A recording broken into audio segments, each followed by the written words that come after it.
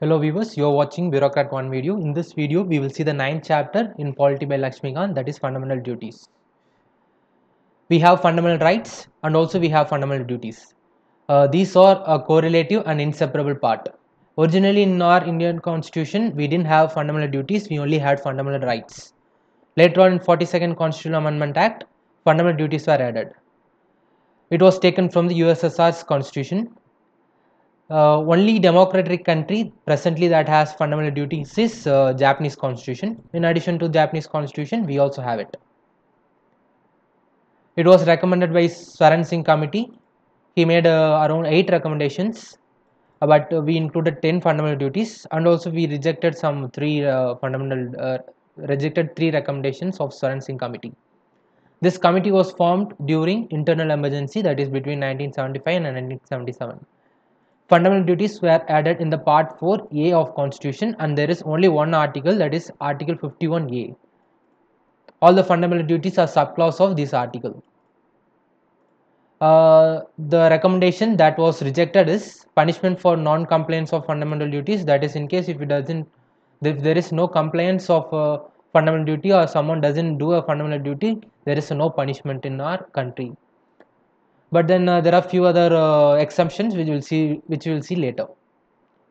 Laws imposing such punishments or penalty can't be questioned in a court. And duty to pay tax was also not added in the fundamental duties. We will see the fundamental duties. Uh, the duties to respect our national flag and national anthem is there.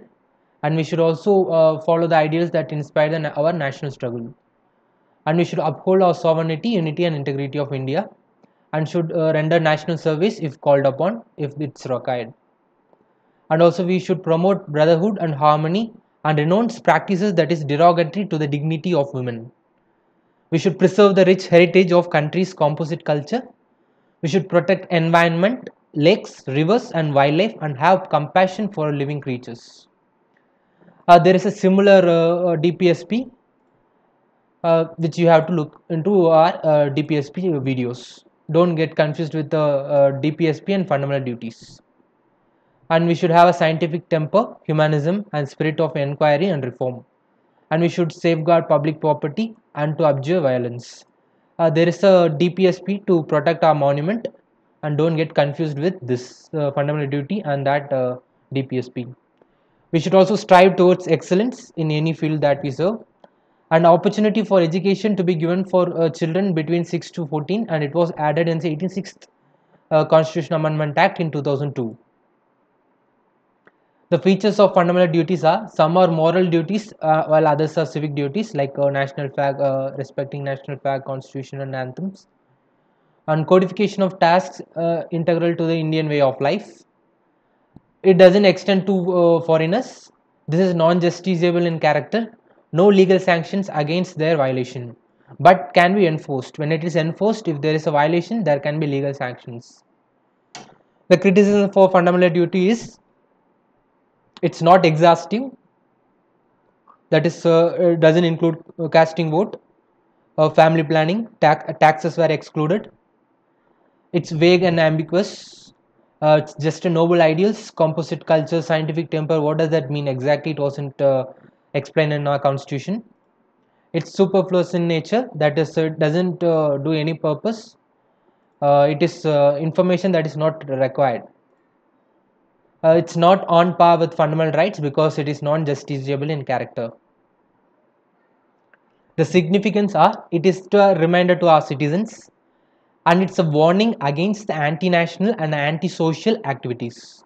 The source of inspiration for the citizens and promote a sense of discipline a court can use it as uh, constitution uh, use it for constitutional validity of a law. So for example if a legislature uh, passes a law court can use this as a guide to whether to uh, to rule whether it is uh, constitutionally valid or not. And also the fundamental duties can be enforced by a law. Uh, later on in 1999 a Verma committee was formed on fundamental duties of citizens. It just identified legal provisions uh, for the implementation of fundamental duties. Uh, the Verma committee didn't recommend any of these things because all these things were already done. It just identified what were there that uh, uh, that helped in implementation of fundamental duties even in 1971 that is before 1999 only we had a prevention of insult to national honor act and we had a criminal law and punishment for encouraging enmity on grounds of language race a place of birth and religion civil rights acts were there since 1955 indian penal code was there. Unlawful activities prevention act was there in 1967 uh, from 1967 and representation of people act of uh, 1951 it is disqualifies a promotion of enmity as one of the criteria. Uh, if it is promoted uh, the candidate is disqualified for uh, uh, running for an election and there is a wildlife protection act of 1972 and forest conservation act of 1980 because these are all fundamental duties it said uh, protect, protect environment lakes rivers wildlife and have compassion for living creatures. Thank you